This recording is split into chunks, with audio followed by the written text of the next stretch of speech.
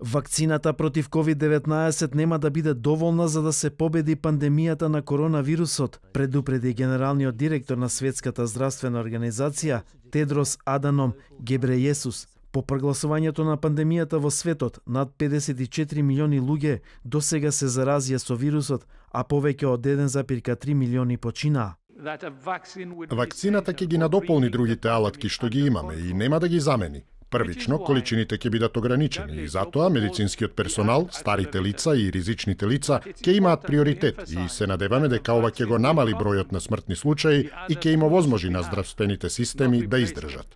Кога станува збор за вакцината, извршниот директор како и неколку негови заменици последниве денови се обидуваа да го намалат оптимизмот од како некои лаборатории објавија дека нивната вакцина, која е во третата фаза на тестирање, е ефикасна 90%. Светската здравствена организација повика да не се брза со предвремено укинување на мерките за контрола на ширењето на коронавирусот, како што се тестирање, карантин и следење на контактите.